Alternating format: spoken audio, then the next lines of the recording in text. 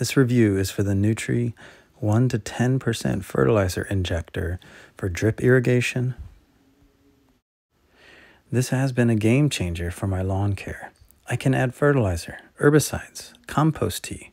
It's a beautiful thing. It is a water powered fertilizer injector system, so no electricity is needed. It ensures that chemical mixtures remain the same regardless of variations in pressure or flow. The water flow rate, however, will be reduced when going through the fertilizer injector. So look at the wiring diagrams for how to reduce this reduction. I use drip pipe and emitters with a 155 mesh filter.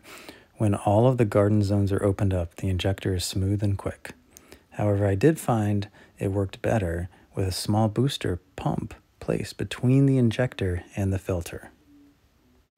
This helped raise the PSI in the system. My conclusion is that you really need a high PSI for this unit and then step back down at the drips.